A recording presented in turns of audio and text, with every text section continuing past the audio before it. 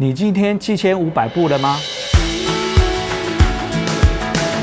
根据台湾人寿的调查，高达七成民众曾经使用过手机 App 来做计步。曾经有购买过健康医疗险的民众，大概有五成有意愿多了解或是购买健走型的外溢保单。这个是我们内部创新竞赛，中信金控为了鼓励员工自主创新，所以有举办创新竞赛，倡导数位文化的创新哦。另外一个听 work 运用大量游戏化的设计，陪伴用户持续运动。鼓励员工养成持续记录的好习惯。听我的 A P，它有个特色是说，它是通过游戏，还有跟我们企业内部的员工彼此之间可以做互动，用团体的竞赛方式跟另外一组人来做互相 P K，那就会产生一些乐趣了。这些都可以透过龙珠来做兑换，也可以成为企业 E S G 的最佳推手。促进员工养成运动的习惯，改善健康。如果说活动比赛很成功的话，那未来他要跟体育署申请所谓的运动企业认证的部分，Teamwork App 也可以提供后台的资料，让我们企业去做一个运动企业的一个认证的部分。未来数位团险服务会让企业承办免除资本作业，透过这个服务可以拉近企业员工跟团险之间的距离。好，健康回馈金就是说我们在订定契约的时候，双方就要先议定好，员工越多人来参与这个活动，其实它调降的空间就越大。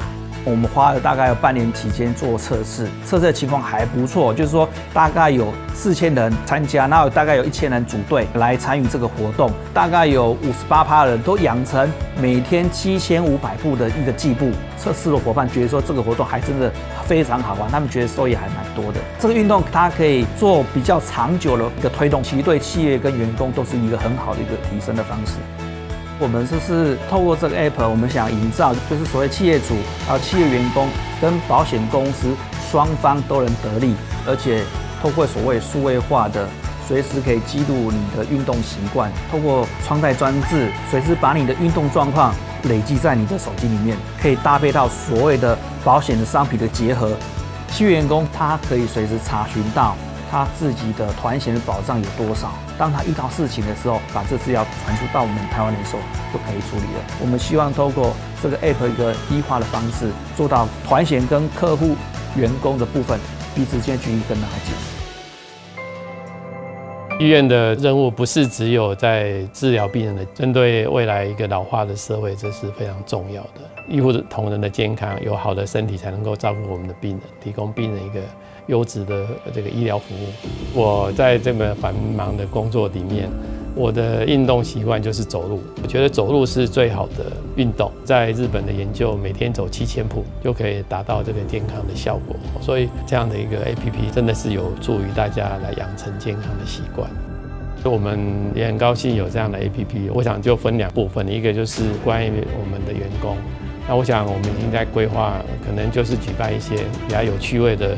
竞赛啊，那针对病人的部分，我们文山区人口比较属于老化，希望我们能够推广到这些慢性病的族群，让他们借由这样的 APP，让大家能够在日常当中就把散步走路当做是一个非常愉快的一个运动。我想这个是非常有意义的事情。